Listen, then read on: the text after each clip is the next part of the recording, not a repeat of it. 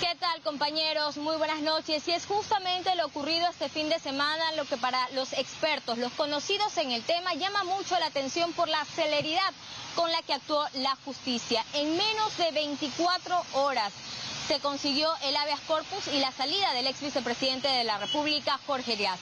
Tenemos una nota al respecto.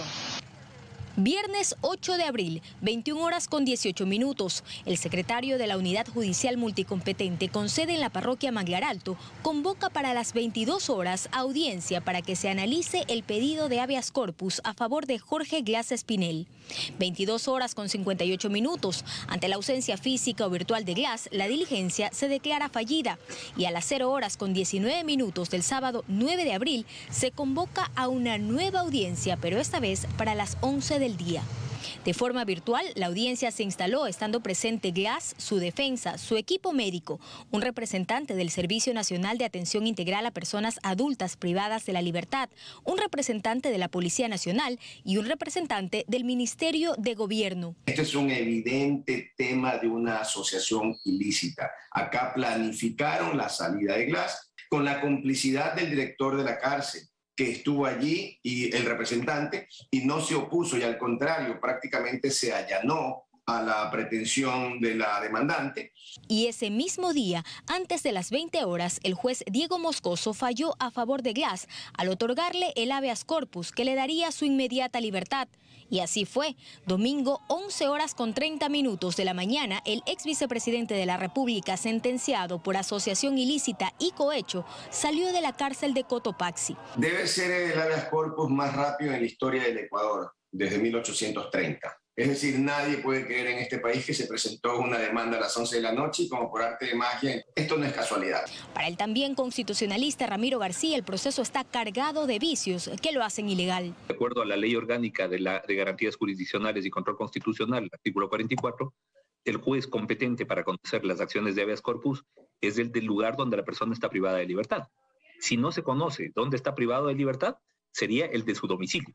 En el caso de Glass, estaba privado de libertad en La Tacunga, Cotopaxi, y su domicilio en Guayaquil, Guayas. Pero hay algo más que debe llamar la atención y es que según García, se ha abierto la posibilidad para que cualquier persona pueda pedir un habeas corpus y que pueda conocerlo cualquier juez.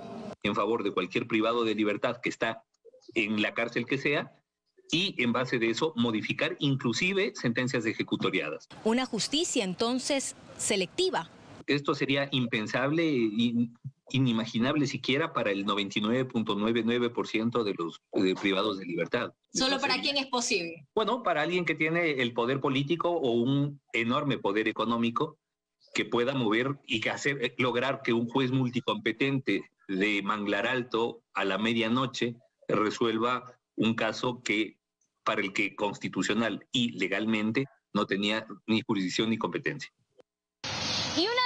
disposiciones que se quedaron planteadas en el habeas corpus es que el ex vicepresidente de la República, Jorge Glass, permanezca en su domicilio ubicado en el kilómetro 14 y medio de la vía a la costa. Nosotros pudimos ingresar a esta urbanización privada y constatar que al menos ahí de forma evidente no existe resguardo policial. Incluso pudimos ingresar también a la urbanización en donde él vivía allá en 2017 cuando fue detenido el 2 de octubre de 2017 con prisión preventiva por el delito de asociación ilícita en el caso Odebrecht. Nos informaron que él estaría en otra urbanización también en vía a la costa y que el resguardo policial estaría al interior de esta urbanización, como ustedes pueden observar a esta hora, bueno, en la parte externa de eh, esta urbanización ubicada en la vía la costa no se encuentra ningún eh, representante, ningún uniformado de la Policía Nacional. Esta es la información a esta hora.